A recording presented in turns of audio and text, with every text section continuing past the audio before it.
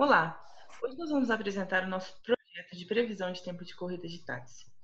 Esse é o nosso fluxograma de trabalho, que começou por entender o problema, entender os dados, preparar os dados e criar um baseline, fazer a avaliação desse baseline, passar para a engenharia de características, verificar a melhoria do modelo e trocar o modelo porventura, avaliar novamente e selecionar o modelo. Para entender o problema, a gente tem algumas informações. A primeira é de que a gente tinha uma base bem extensa de 2 milhões de corridas de táxi feitas na cidade de Nova York.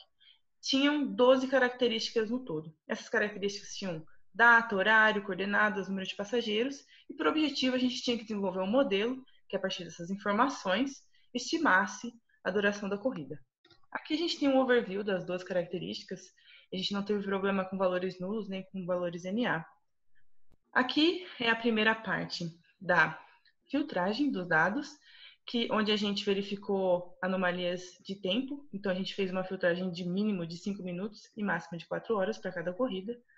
Aqui, a gente também verificou a quantidade de passageiros, que ela tinha que ser no mínimo 1 e no máximo 9 lugares. Aqui também a gente fez a verificação das coordenadas é, do retângulo envolvente da área de interesse. Então, a gente tem essas coordenadas do canto superior esquerdo e do canto inferior direito.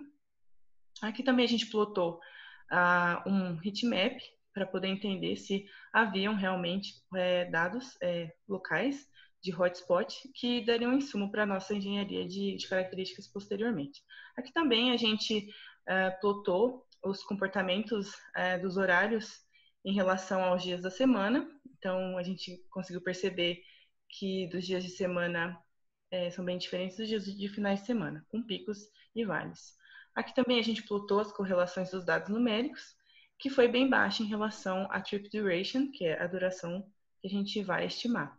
A gente dividiu a base de dados entre treino e teste, 80% e 20% respectivamente. Na parte de modelagem, a gente utilizou o Random Forest e o XGBoost. A nossa primeira preocupação foi criar um baseline. E dentro desse baseline, a gente utilizou as informações mais básicas que a gente já tinha. Que é informação de passageiro, picape, latitude, longitude e horas. Após a construção do baseline, a gente entendeu que precisava buscar informações externas, como é, relacionada à temperatura, a quantidade de neve e a profundidade de neve durante os meses. Uma outra variável que construímos foi a variável de distância.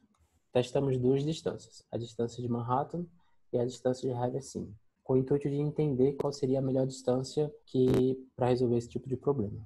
Depois disso, a gente verificou dois hotspots dentro da cidade de Nova York, que é o, a Times Square e o aeroporto da cidade. Entendemos que esses dois pontos têm características diferentes e bem específicas e por isso trouxemos essa informação também para o modelo. Além disso, a gente, a gente fatiou a cidade de Nova York em 10 grupos de latitude e 10 grupos de longitude, criando assim 100, 100 quadrados ao longo da cidade. A ideia aqui era entender se existia alguma área onde tinha um comportamento diferente em relação à duração da viagem. Depois disso, levamos em consideração a hora da viagem, Entendemos que existe horário de pico na cidade, que seria em torno das 6 às 9 horas, e também existe um grande horário de vá, que é das 2 da manhã às 5 da manhã. Trouxemos também essa informação para o modelo, além da relevância por hora. Para cada modelo, a gente foi a gente foi incrementando as variáveis é, conforme a versão do modelo. Ao longo desses seis modelos, o modelo 6 se mostrou o vencedor, tanto para a métrica do mãe como para a métrica do RMSLM. Aqui tem, mostra a evolução ao longo desses seis modelos e como o modelo 6 se mostrou vencedor nessas duas métricas. Após o extenso estudo, e fizemos a submissão no site do Kaggle, onde o desafio se encontrava.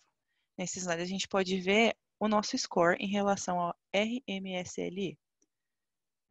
Essa é a nossa equipe o Arthur, eu, o Felipe e o Rodolfo. Por hoje é só. Muito obrigada pela atenção de todos.